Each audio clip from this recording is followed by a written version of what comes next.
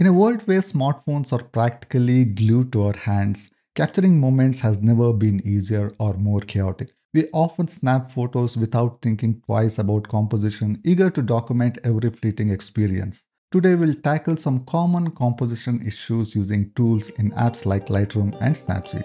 The good news, most options are quite similar across different apps, so stick around for some advanced tips at the end. This is Nagesh and welcome to NavEdits. One of the simplest yet crucial steps in photo editing is straightening an image. A crooked shot can distract from an otherwise perfect photo, making it feel imbalanced. Look for a reference point, often the horizon, as your guide. Enter the rotate tool. It helps you align your image, making it look balanced and cohesive. In Snapseed, selecting the rotate tool automatically analyzes your photo and attempts to straighten it by leveling the horizon. While it's a handy feature, it doesn't always get it right. Luckily, you can manually adjust it to achieve that polished finish. Straightening may seem minor, but it significantly enhances your image's professionalism. Now let's shift to Lightroom for a similar effect. In the crop menu, you'll find the straighten tool, which allows you to automatically adjust the horizon. If the auto straighten doesn't hit the mark, you can manually drag a dotted circle to fine tune the image. This step may seem small, but it harmonizes your photo and gives it that professional touch. Moving back to Snapseed, the crop tool is another essential component for composing an image. After straightening the photo manually, I will apply the crop tool, which reveals a helpful 3 into 3 grid for better composition. This grid serves as a visual guide, making it easier to align your focal points. Lightroom offers cropping presets, but I prefer to stick with the original aspect ratio for this edit. By dragging the lower corner inward, I will focus on the key elements, aligning subjects along the first vertical line of the grid.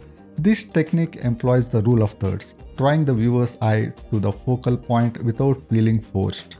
While it might not seem directly related to composition, the healing tool is essential for removing distractions from your image.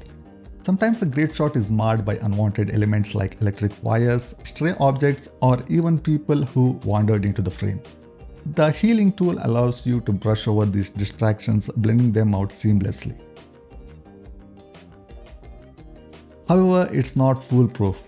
Complex backgrounds may require additional manual tweaks. Still, this tool serves as your digital cleanup crew, refining the image and enhancing its focus. Imagine taking a stunning landscape photo only to find a rogue wire cutting through the scene. A few swipes with the healing tool and poof, that distraction is gone, allowing your subject to take center stage. Lightroom has a comparable healing tool that lets you adjust the brush size based on what you are removing. Brush over the wires and Lightroom will sample the surrounding area to fill the gaps. The result isn't perfect, you can adjust the sample area for more natural look. These small refinements can dramatically improve your image, guiding the viewer's attention to your subject without clutter. Now let's explore the underrated perspective tool in Snapseed which is fantastic for correcting tilted structures. If a building or another vertical structure is leaning, the tilt option allows you to easily adjust the angle. A simple drag can realign the structure giving the photo a cleaner feel.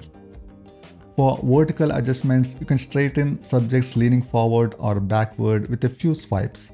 Snapseed AI often fills in blank spaces left behind, saving you editing time.